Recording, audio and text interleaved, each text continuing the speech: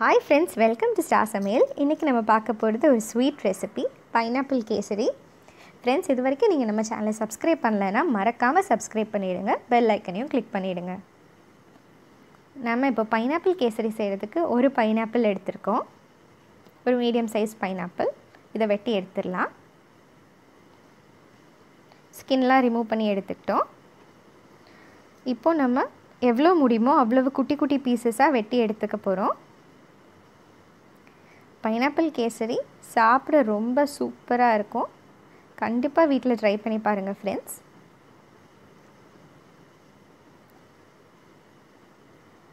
இதே மாதிரி குட்டியாக நம்ம வெட்டி வெட்டி எடுத்துக்கிறோம்.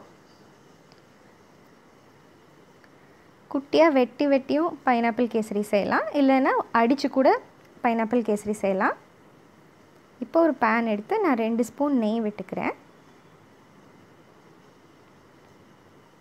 நெய் நல்லா உருகி வந்த உடனே நான் கேஷ்யூ சேர்த்துக்கிறேன். இப்போவே நட்ஸ் எல்லாம் வறுத்து எடுத்துக்கிறோம்.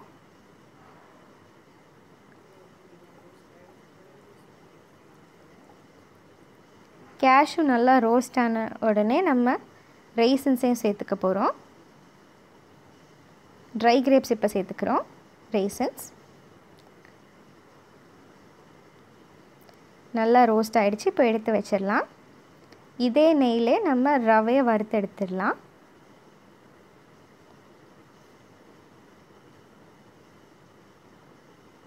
நான் ஒரு கப் ரவை எடுத்திருக்கேன். அதே நெய்லே வறுத்து எடுத்துக்க போகிறேன்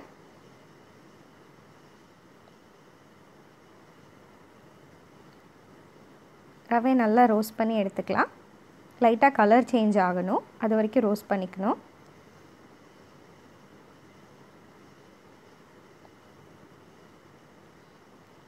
நல்லா கலர் சேஞ்ச் ஆகி வந்துருச்சு. இப்போ எடுத்து தனியாக வச்சிடலாம். இப்போது நம்ம பேனில் வெட்டி வச்சுருக்கிற பைனாப்பிள் பீசஸ்லாம் சேர்க்க போகிறோம் நான் ரொம்ப எவ்வளோ குட்டி குட்டியாக வெட்டி வச்சுருக்கேன்னு பாருங்கள் இது மாதிரி குட்டியாக சேர்த்துக்கோங்க. பைனாப்பிள் பீசஸாக பிடிக்காது. இல் அப்படின்னா அடித்து கூட சேர்த்துக்கலாம். இப்போ நான் ஒரு கப் சுகரும் சேர்த்துக்கிறேன். சுகர் நல்லா உருகி வரணும்.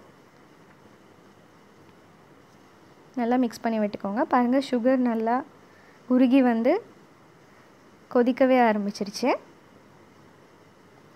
இந்த நேரத்தில் நம்ம வந்து ஒரு கப் பால் சேர்த்துக்க போகிறோம் நிறைய பேர் கேசரியை வந்து தண்ணியில் மட்டுமே செய்வாங்க. நான் வந்து பால் விட்டு செய்வேன். அப்போ தான் சூப்பராக டேஸ்ட் வரும். நான் ரெண்டு கப் தண்ணி சேர்த்துக்கிறேன். ஒரு கப் பால் ரெண்டு கப் தண்ணி சேர்த்துக்கிறேன். டேஸ்ட்டுக்காக நல்லா கொதிச்சு வந்துருச்சு பாருங்கள் இந்த நேரத்தில் நான் அரை ஸ்பூன் பைனாப்பிள் எசன்ஸ் சேர்த்துக்கிறேன்.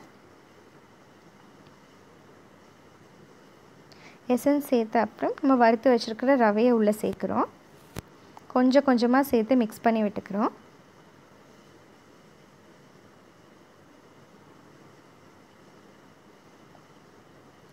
கேசரியை பால் விட்டு செஞ்சு பாருங்கள் சூப்பர் டேஸ்ட்டாக இருக்கும். நல்லா மிக்ஸ் பண்ணி விட்டுட்டே இருங்க. ரவை வேக ரவை வேகிற வரைக்கும் நம்ம மிக்ஸ் பண்ணி நல்லா வேக வைக்க போகிறோம் பாருங்கள் தண்ணிலாம் வற்றி ரவை நல்லா வெந்துருச்சு. இந்த நேரத்தில் நம்ம அரை ஸ்பூன் ஏலக்காய் தூள் சேர்த்து நல்லா மிக்ஸ் பண்ணிக்கலாம்.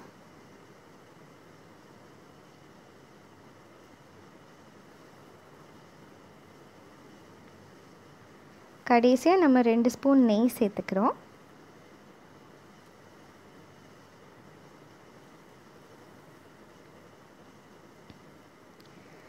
நம்ம ரோஸ்ட் பண்ணி வச்சுருக்கிற நட்ஸையும் உள்ளே சேர்த்துடலாம். சேர்த்து நல்லா மிக்ஸ் பண்ணிக்கலாம்.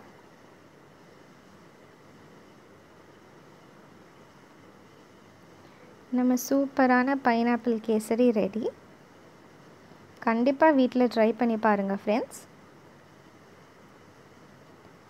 பைனாப்பிள் கேசரி உங்களுக்கு பிடிச்சிருந்துச்சுன்னா லைக் கமெண்ட் பண்ணுங்கள் உங்கள் குக்கிங் ஃப்ரெண்ட்ஸ் அண்ட் ரிலேட்டிவ்ஸ்க்கும் ஷேர் பண்ணுங்கள் மறக்காமல் நம்ம சேனலை சப்ஸ்கிரைப் பண்ணிவிடுங்க பெல் ஐக்கனையும் கிளிக் பண்ணிவிடுங்க